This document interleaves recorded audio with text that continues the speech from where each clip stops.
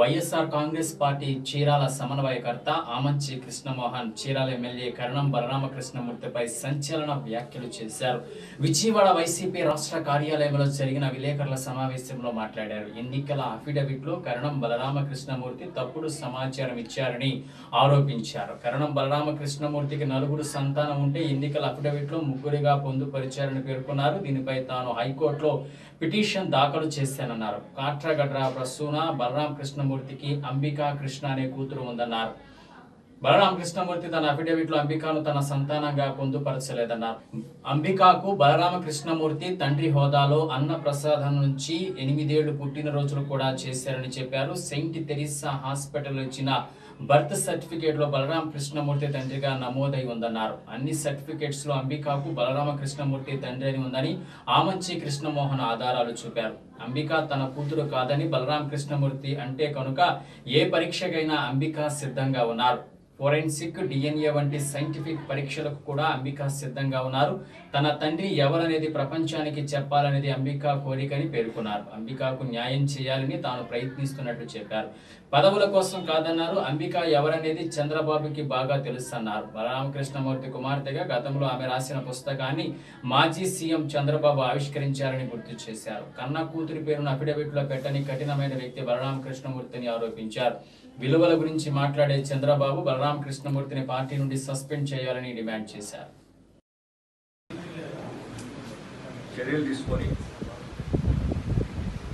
Disqualify చేయమని చెప్పి హైకోర్టులో నేను ఈపీ దాఖలు చేయడం జరిగింది. ఎలక్షన్ పిటిషన్ ఫైల్ చేయడం జరిగింది. మరి ముఖ్యంగా ఏదైతే తను ముగ్గురు పిల్లలని ముగ్గురు పిల్లలనే కాకుండా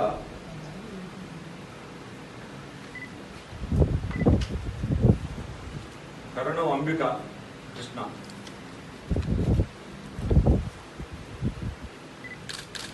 Doctor of Karanam Balaram.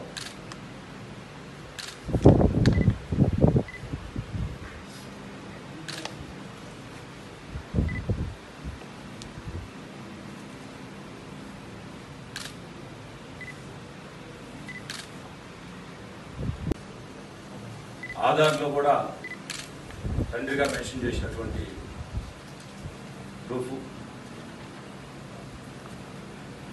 ఇలా బ్యాంక్ అకౌంట్లో ఎస్బీహెచ్లో.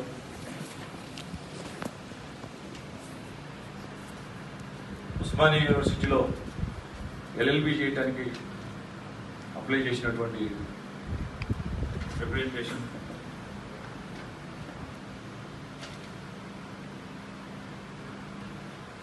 కాండక్ట్ సర్టిఫికేట్లో తండ్రిగా కర్ణం బలరావుని మెన్షన్ చేసినటువంటి అంటే సహజంగా మనకి మన భారత చట్టాలను అనుసరించి కానీ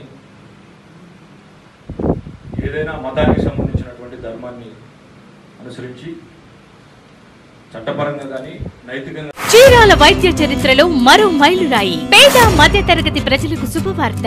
శ్రీ కామాక్షి కేర్ హాస్పిటల్ చీరాల నందు తెల్ల రేషన్ కార్డు ఉన్న వారికి ఎన్టీఆర్ వైద్య సేవ ఆరోగ్యశ్రీ కార్డు ద్వారా గుంటూరు విజయవాడ ఒంగోలు వెళ్ళాల్సిన అవసరం లేకుండా ఇప్పుడు మన చీరాలలో శ్రీ కామాక్షి కేర్ హాస్పిటల్ నందు అన్ని రకాల జబ్బులకు ఉచిత ఓపీ మరియు ఉచిత ఆపరేషన్లు చేయబడును. Shri Kamakshi care hospital church road Chirala. Cell nine triple zero eight zero eight one nine eight. Managing director Tadivalasa